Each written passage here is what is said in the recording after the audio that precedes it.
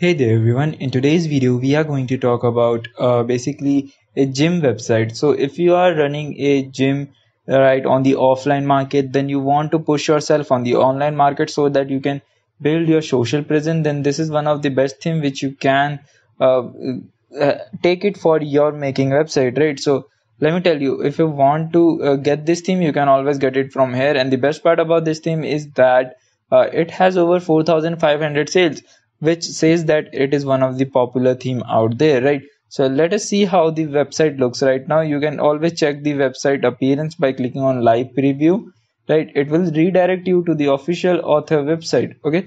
So whenever you get uh, free time you can always check the whole documentation of the theme by coming to this website and you will come to know each and every section what a website exactly looks like right?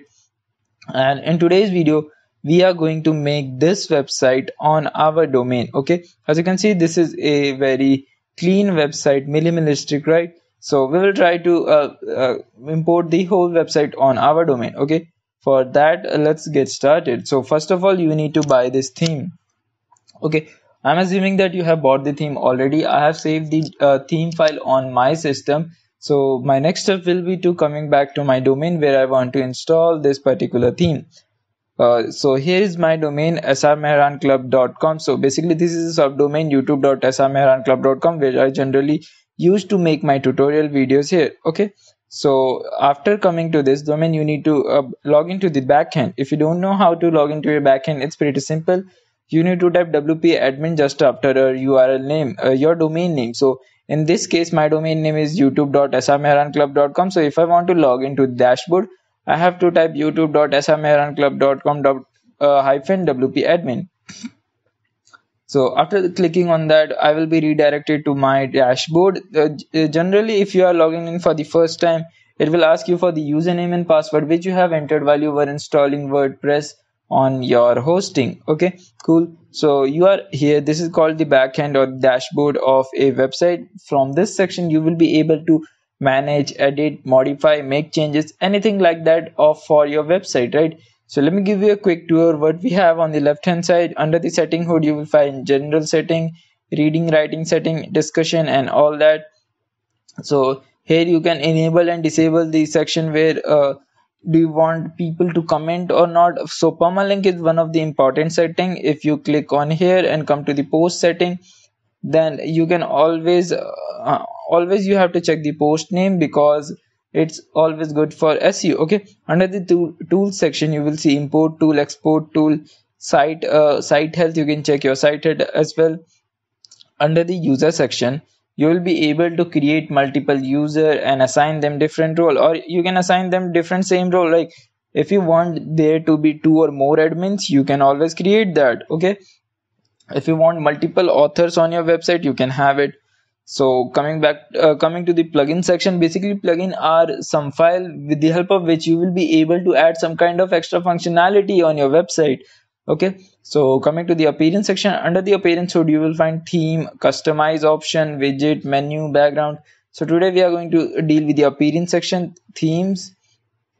And here we will try to add our new theme. These are the default theme which has been provided by wordpress but we will add new theme. And here you will see let it load. You will see that by default wordpress provide you n numbers of free themes right? But the thing is there are a lot of difference between free theme and paid theme. I generally refer you to buy a paid theme if you have some little bit of amount to invest in the very initial stage. So generally the difference between the paid and premium theme is that the uh, the free theme don't have that much amount of flexibility when it comes to uh, designing right their amount of uh, their what should i say their level of customization is very limited. You you won't be able to customize header footer as per your own need right? So i generally prefer if you have a small amount always invest that in buying a good theme. So apart from that the conversion rate on the uh, free theme are pretty low because of the responsiveness over the mobile devices. So i'm assuming you have your theme let's upload it select the file and if i'm not wrong here is the file. I will select it and install now. So once you click on install it will start uploading the file from your system to our server. It might take couple of seconds. Let's wait for it. If i'm not wrong it should be uploaded in couple of seconds. So as you can see theme has been installed successfully. Let's activate the theme. And as you can see it is it is asking us to install some plugin like wp page builder so basically a theme always suggests you to install some kind of recommended plugin because a theme consists of multiple functionality and each and every functionality totally depends upon some kind of plugin because that functionality is organized or managed by a plugin right? So it's always recommended or suggested by me or everybody right? So whenever your theme uh, gives you notification or says you to install some kind of certain plugin never ignore those messages so you just need to install and activate it. I have already installed it. Let me check. Okay. Here is the plugin activated. So now we have to see what are the option which we are getting right now. Uh, let's check out our website how our website looks right now. Uh, coming to visit website.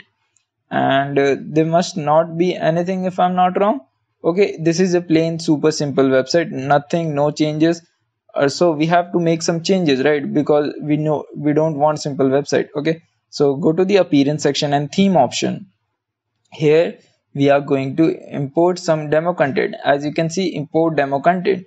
Then we are going to import demo content. Click on this and wait for a couple of seconds and all the demo content will be imported on your website. So generally i am assuming that it will import some pages on our uh, domain right here pages let's let's see how many pages has been imported. As you can see 12 pages has been imported card home page privacy policy and all that. Let's refresh the page and let's see how our website looks right now. So if i'm not wrong everything is imported successfully. The slider the section where you can uh, add new things. Okay according to me everything looks good. If i scroll down the slider is also looking amazing here. Right? If i click on a timetable then it will show us a different page right? This is the whole timetable schedule which you can manage by yourself right? And if i go, to classes section here is the classes uh, program. If you want to see how much pay, price plan they are having for the gym you can always put it here. Or you can simultaneously go back to the dashboard and change each and every section from this pages. Like if you go to the timetable what's news page right? This is the blog page. If i'm not wrong here is the section where you can put your blog and if somebody wants to read about something he can come to the blog section and read it everything by coming here right?